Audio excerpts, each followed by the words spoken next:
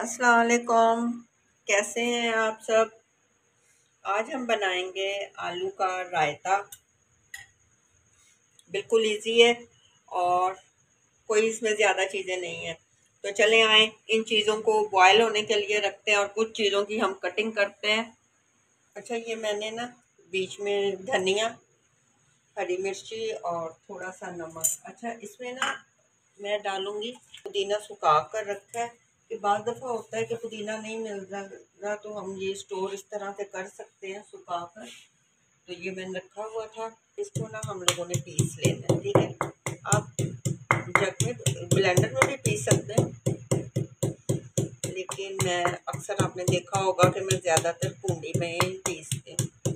बारीक धनिया, पुदीना और हरी मिर्ची, ये मैंने बिल्कुल अच्छी तरह से कुंडी में बिल्कुल रगड़ कर, इस तरह से आपने रगड़ लेना बारीक पीस लिए। अब हम खीरा और टमाटर की कटिंग कर लेंगे, साथ प्याज की। दो अदद आलू मैंने बॉयल करके रखे हैं।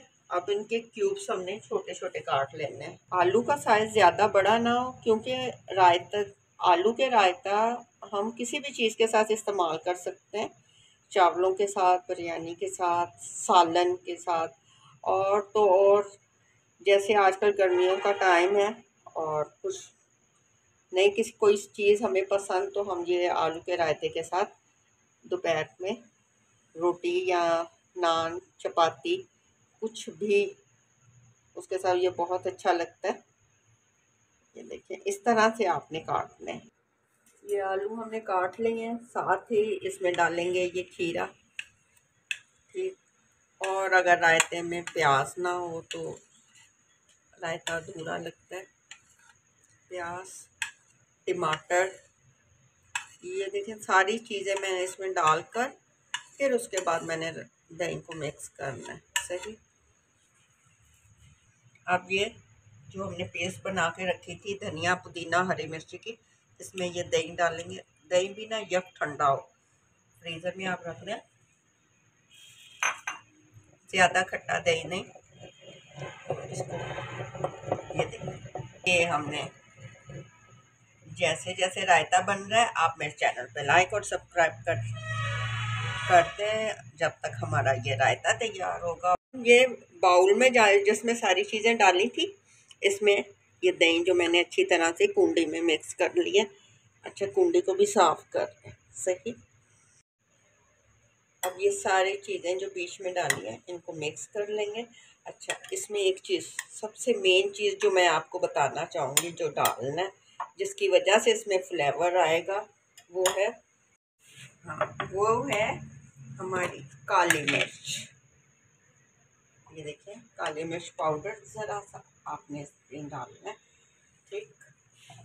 इससे बहुत अच्छा फ्लेवर सा आ जाता है, और ये कुटा हुआ धनिया से ही और इसको आप मिक्स कर लेंगे।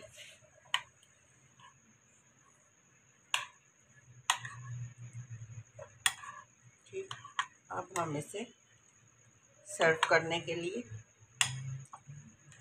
प्लेट में या किसी बाउल में आप डाल सकते हैं। ये हमारा आलू का रायता जी तैयार हो गया है। ये ऊपर आपने धनिया थोड़ा सा डाल देना है सही है, लेकिन इसको मिक्स कर लें। क्योंकि मिक्स किए बगैर। जब तक आप इसे मिक्स नहीं करेंगे तो इसकी खुशबू नहीं आएगी ना। आप भी ज़रूर इसे ट्राई करें। अगर आपको मेरी ये रेसिपी पसंद है तो मेरे चैनल पे लाइक और सब्सक्राइब ज़रूर करें। बेल आइकन का बटन दबाना ना भूला करें। इंशाल्लाह नई रेसिपी के साथ फिर मिलते हैं। अल्लाह हाफिज़, अपनी दुआओं में याद रखिएगा।